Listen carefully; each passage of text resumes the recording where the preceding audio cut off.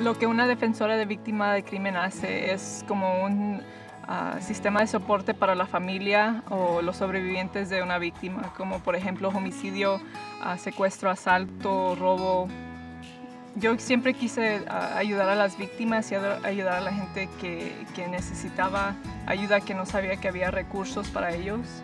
Sí es difícil uh, trabajar en esta posición, pero yo cuando era pequeña tenía uh, mucho soporte en la escuela con un consejero y él me ayudó a mí a cambiar mi vida y yo sentí que yo quería también ayudar a otra gente por uh, ayudarles a cambiar su vida y tomar control de nuevo de su vida.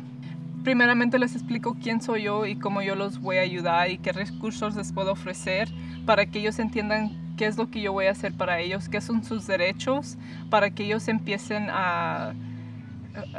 para poder formar una relación y, que ellos tengan confianza en mí.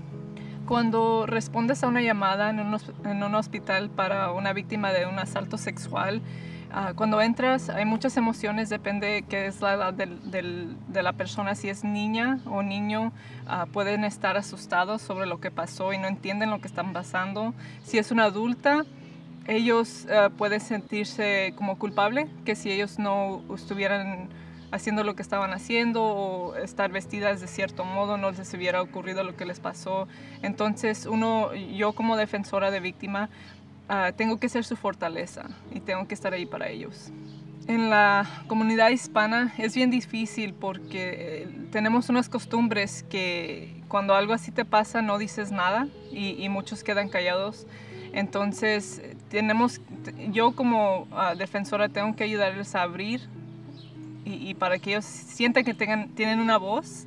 uh, para que puedan hab hablar sobre lo que les pasó y no queden que calladas, y, y, porque cuando quedan calladas pueden ser víctimas otra vez.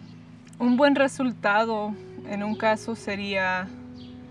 uh, cuando una víctima se siente que ya por fin todo ha terminado o por fin ellos ya pueden dejar ese capítulo en su vida atrás. La parte más favorita de mi, de mi trabajo es cuando hay resultados que la víctima deseaba, cuando, o sea, que, el, que fue culpable, que lo sentenciaron y fue a dar a la cárcel, o que ellos sientan que, aunque no haya los resultados, ellos sienten que tienen esa, ese control en su vida de nuevo.